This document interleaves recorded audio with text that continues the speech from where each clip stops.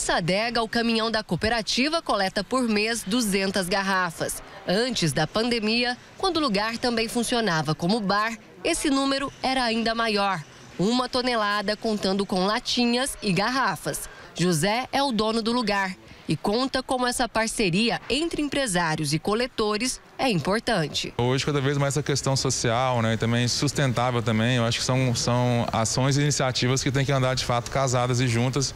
E nós temos aí alternativas cada vez mais é, rentáveis e, e fáceis também de você tomar é, para o seu negócio, para o seu dia a dia. E isso faz total, total sentido com o que a gente acredita aqui hoje. Luiz é motorista e coletor. Ele diz que ficou desempregado durante a pandemia e, graças à cooperativa e quem contribui com ela, hoje consegue sustentar a família. É muito bom, né, saber que é, a gente está podendo reciclar esse vidro que não está indo para aterro sanitário, entendeu? E é uma renda a mais para nossas famílias. Antes, grande parte dos vidros coletados das ruas tinha como destino o aterro sanitário. Isso porque não existia um maquinário próprio para fazer a reciclagem do material. Mas essa realidade mudou há poucos dias com a chegada deste equipamento aqui. Agora é possível reciclar 100% dos vidros. Ao todo, sete cooperativas de materiais recicláveis de Goiânia são beneficiadas. O material recolhido por elas e com a ajuda da Comurg vem para essa central. Aqui, as garrafas são retiradas por uma pá carregadeira e depositadas na esteira, para depois serem trituradas.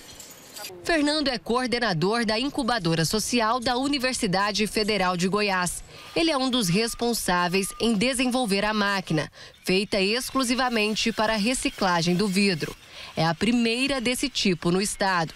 O projeto só pôde ser desenvolvido graças a uma verba destinada pelo Ministério da Cidadania.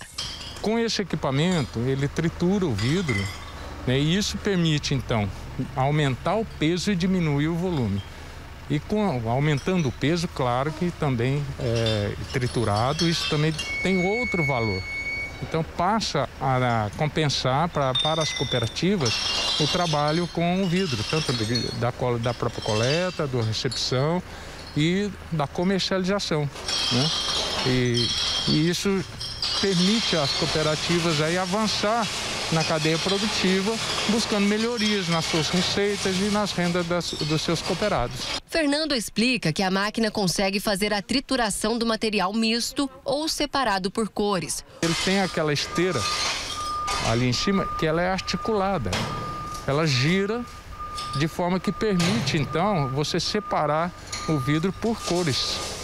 Que também isso representa também um avanço e uma melhoria nos preços. Por exemplo, o vidro branco, o cristal, ele é mais valorizado. Então permite hoje fazer essa separação por cor também. Antes, o pouco vidro que era coletado rendia no máximo 12 toneladas.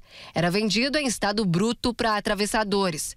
Com a trituração, agora é possível vender 32 toneladas de uma só vez e direto para as indústrias o que aumentou o lucro dos cooperados. Cerca de 3.500 pessoas são beneficiadas com esse trabalho. A gente acredita que a sociedade, o comércio, as indústrias possa estar enviando para cá para a gente estar tá retirando esse material do aterro com isso aumentando a vida útil do aterro e o mais importante, né, aumentando a renda dos catadores e protegendo o meio ambiente. Não só empresários podem ajudar na separação e doação de material reciclável. Em Goiânia, a coleta seletiva da prefeitura passa de porta em porta.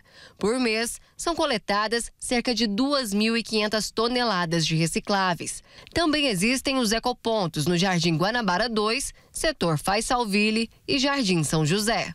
A população pode participar do programa separando os materiais recicláveis em, nas residências né, separando do orgânico os materiais recicláveis, como papéis, plásticos, vidros, longa vida e encaminhando para a coleta seletiva.